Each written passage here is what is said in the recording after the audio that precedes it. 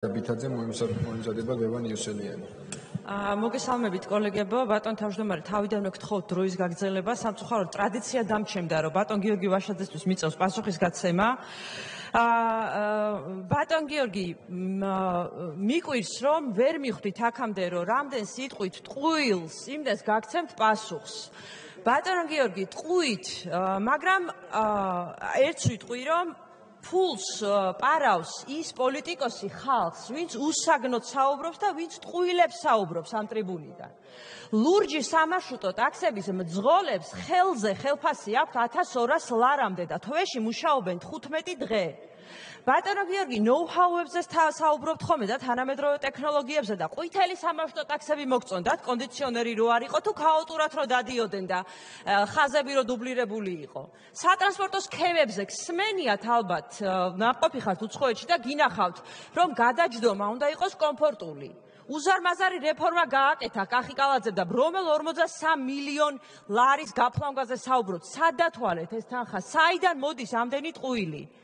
საიდან მოდის ამდენი ტყუილი, როდესაც რეფორმა, რომელიც უკვე თვალსაჩინოა და არაერთხელ მithქვამს და გვითქვამს, რომ წლის ბოლომდე 300 ახალი ავტობუსი შემოვა და სქემები მთლიანად გაეშვება, ისე რომ აბსოლუტურად კომფორტული იყოს გადაადგილება, თქვენ საუბრობთ იმაზე, რომ თურმე ეგრეთ წოდებული სტაიანშიკების ინსტიტუტი უნდა აღვადგინოთ. დაახლოებით ესეთი რამე თქვით, როცა დისპეჩერები თქვით. ბატონ გიორგი, ცნობილია თქვენთვის, რომ სამარშრუტო ტაქსებიდან ადამიანები ავტობუსებზეც გადადიან და ეს ტენდენცია, რომ არავინ უმუშავარი არ დარჩეს, აქტიურად მიმდინარეობს. ცნობილია თქვენთან რამდენია სუბსიდირება სახელმწიფო ბიუჯეტიდან იმისთვის, რომ გზავრებს თანხა არ გაზრდოდათ ამ სატრანსპორტო რეფორმის ჩატარების შედეგად. 75 მილიონი ლარია სუბსიდირება იმისთვის, რომ არც ერთ სტუდენტს, არც ერთ მასწავლებელს არ არ გაზრდოდა ტარიფი სატრანსპორტო რეფორმის შედეგად.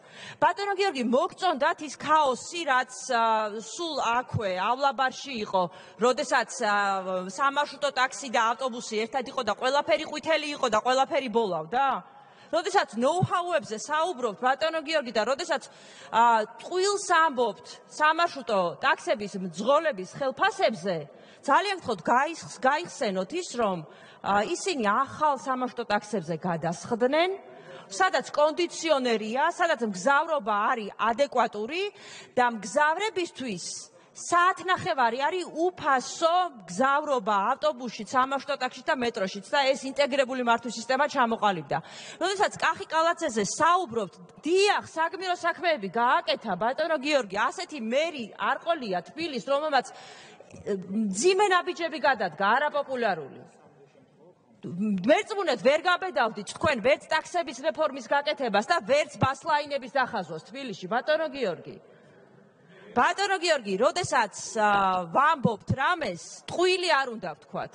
და კიდევ ერთხელ ვიმეორებ, რომ ფულს ფლანგავს ის პოლიტიკოსი, რომელიც ამბობს ტყუილებს ამ ტრიბუნიდან და იმის მაგივრად, რომ რეალური საქმე გააკეთოს, მუდმივად ხმამაღალი ტონით მენტორულად ღმოძღვრავს.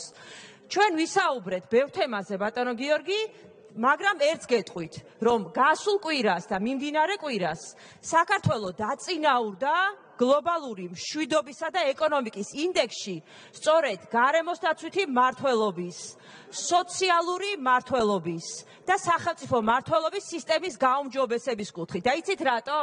ყველა ის რეფორმა, რომელიც ტარდება, არის სწორი და ეს ნიშნავს იმას, რომ პერსპექტივაში საქართველოს ეკონომიკური განვითარების ძალიან დიდი პოზიტიური წინსვლა აქვს. მადლობა. შემდეგი ბატონ ლევან იოსელიანი